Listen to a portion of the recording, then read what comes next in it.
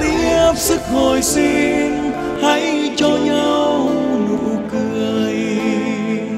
Tiếp sức hồi sinh, hãy cho nhau cuộc đời.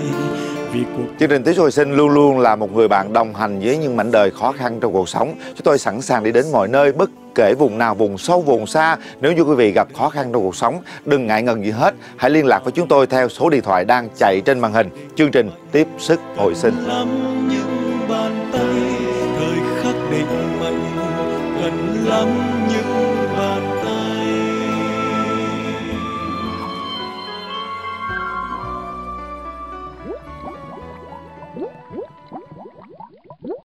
Chào đón quý vị và các bạn đến với chương trình Tiếp sức hồi sinh. À, thưa quý vị, chương trình Tiếp sức học sinh cũng đồng hành quý vị à, gần 10 năm qua, à, luôn luôn đem đến những niềm vui hạnh phúc cho rất là nhiều mảnh đời khó khăn trên khắp mọi nẻo đường đất nước. Chúng tôi luôn luôn đi đến các bệnh viện, những cái nơi khó khăn để có thể chia sẻ một chút à, cái tấm lòng của chương trình đối với những bệnh nhân đang gặp khó khăn trong việc điều trị à, với viện phí. À, lâu rồi có lẽ chương trình à, không gặp lại quý vị ở nơi những cái bệnh viện những à, hoàn cảnh khó khăn bởi vì dịch covid đang hoành hành khắp mọi nơi.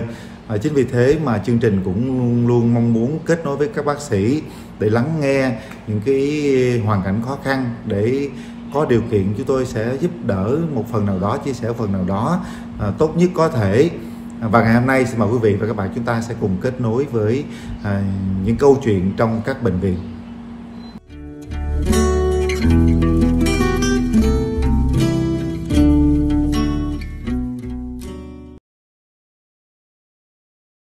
Chào chương trình tiếp sức hồi sinh, cho anh Quyền Linh.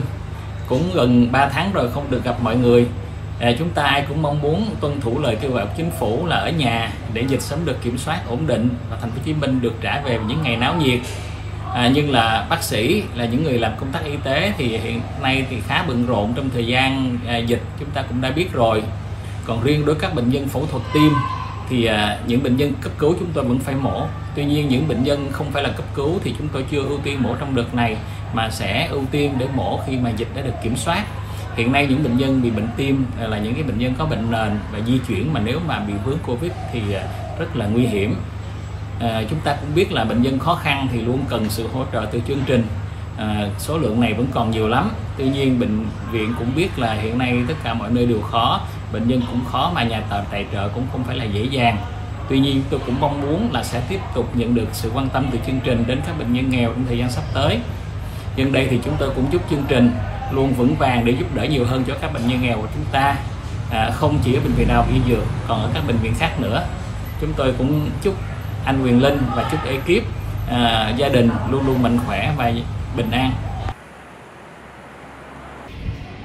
Xin kính chào các bạn. Chào uh, chương trình tiếp sức hồi sinh. Uh, Xin chào anh Hường Linh Đã lâu không gặp gặp. Uh, Chúng tôi vẫn uh, rất mong mỏi anh. Uh, Mong mỏi anh Vẫn mong mỏi chương trình tiếp sức hồi sinh.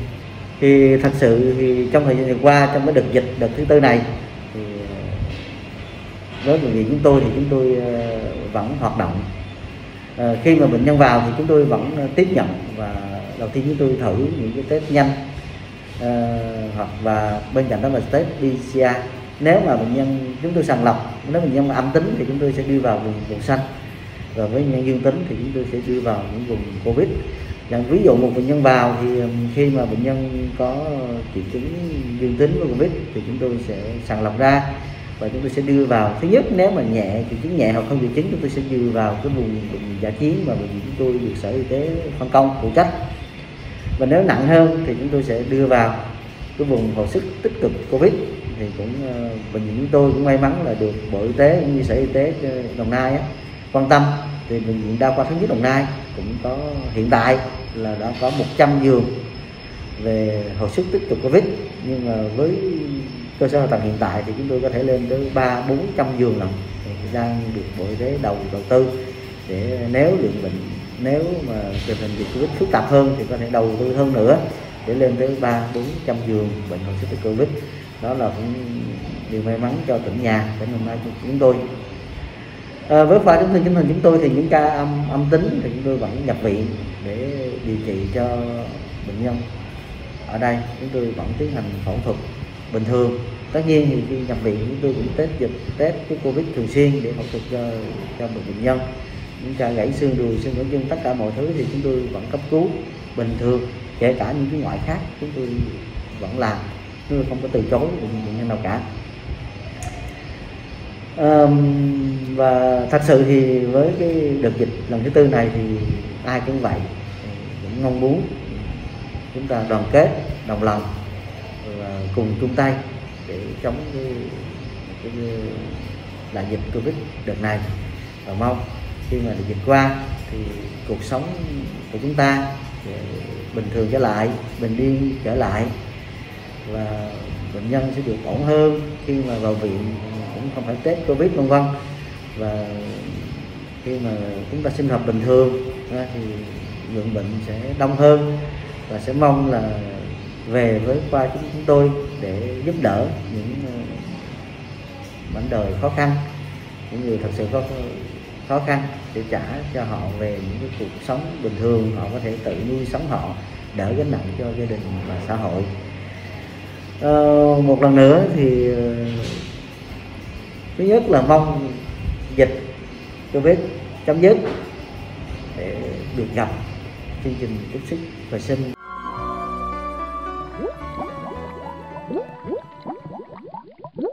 Như quý vị đã biết thì tình hình dịch bệnh đang diễn biến khá phức tạp tại thành phố Hồ Chí Minh, một trong những cái tâm dịch à, à, có thể nói rằng rất là lớn, à, rất là nhiều hoàn cảnh vô cùng khó khăn trong giai đoạn hiện nay. À, quý vị thấy rằng là trên những con đường đi đầy những sợi dây dăng Covid và đằng sau sợi dây dăng đó có rất nhiều cái hoàn cảnh khó khăn. Dịch Covid đã chia rẽ tất cả mọi người dịch Covid đã ngăn con đường chúng tôi đi đến các bệnh viện. Dịch Covid đã làm rơi biết bao nhiêu giọt nước mắt. Dịch Covid đã làm đau thương tất cả những cái số phận khó khăn lại càng khó khăn hơn nữa. Chương trình tiếp xúc hồi sinh thấy rất rõ điều đó quý vị. Nhưng mà lực bất tòng tâm, chúng tôi không thể đi lại được trong điều kiện hiện nay. ờ, mong lắm qua những sự chia sẻ online với các bệnh viện. À, mong lắm những điều tốt đẹp nhất sẽ đến quý vị mong lắm những trái tim thiện nguyện sẽ cùng chia sẻ quý vị ai có thể gần nhất quý vị chúng ta sẽ chia sẻ. Còn sự đi lại bây giờ khó khăn vô cùng luôn. Mong rằng một ngày không xa dịch bệnh sẽ được kiểm soát và tiếp xúc hồi sinh lại tiếp tục lên đường để đến với những mảnh đời khốn khó để có thêm phương tiện điều kiện thuận lợi để điều trị.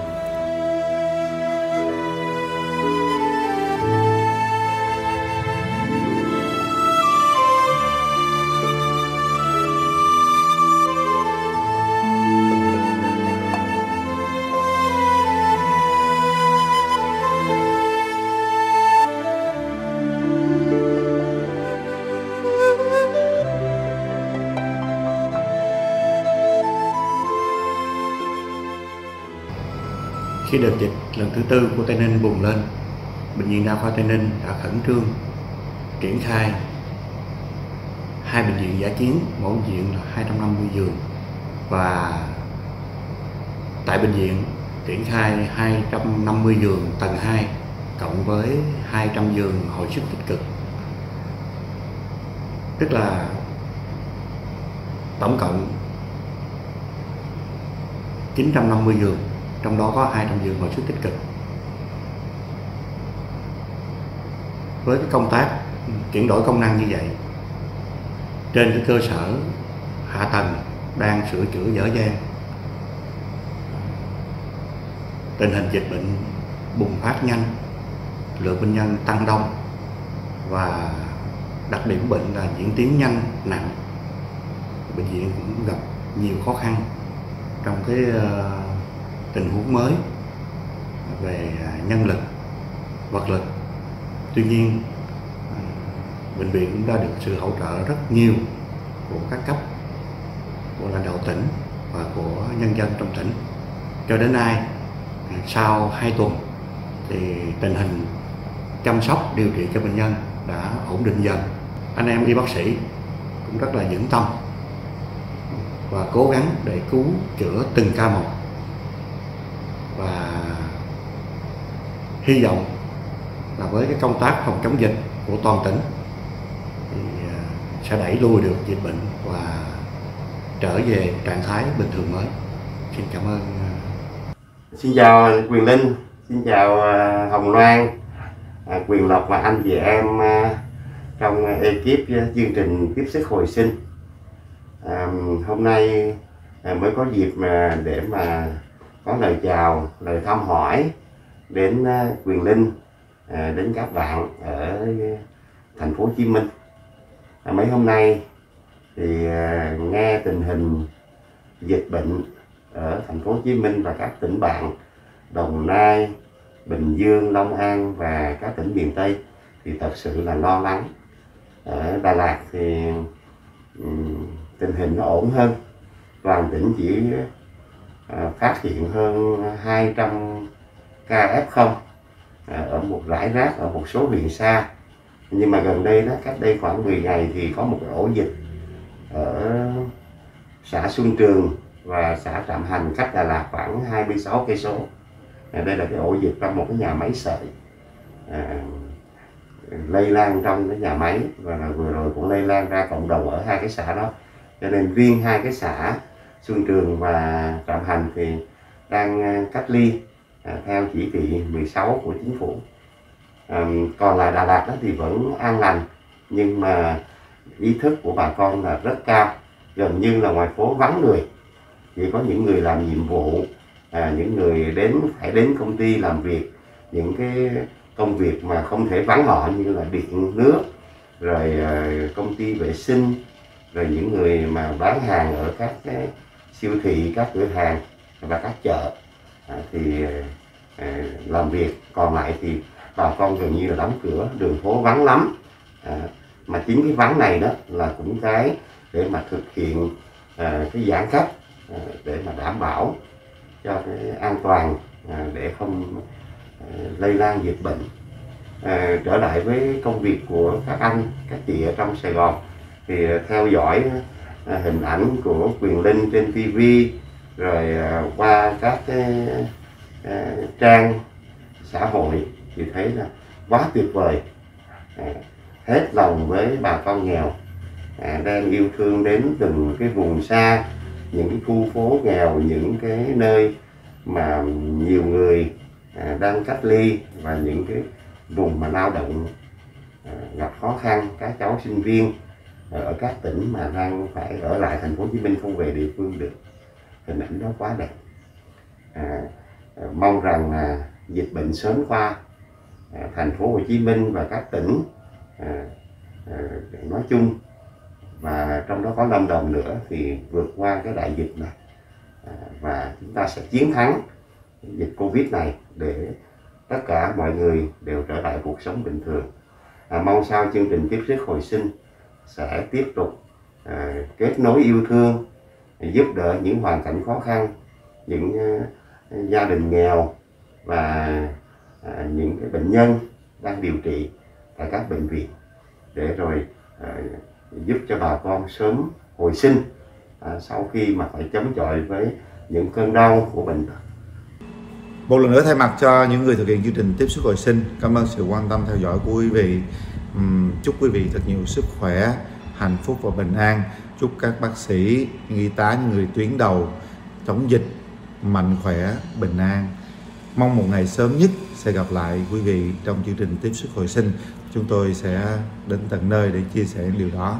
Còn bây giờ thì Quy Linh xin chào tạm biệt và hẹn gặp lại. Quý vị nhớ tuân thủ những chỉ đạo của các cơ quan chức năng và đặc biệt là tuân thủ 5K để bảo vệ sức khỏe cho chính mình, cho người thân và cho cộng đồng quý vị nhé. Quy Linh xin chào, hẹn gặp lại trao yêu thương đong đầy vòng tay ấm ấm lên tình người, nụ cười tiếp sức hồi sinh.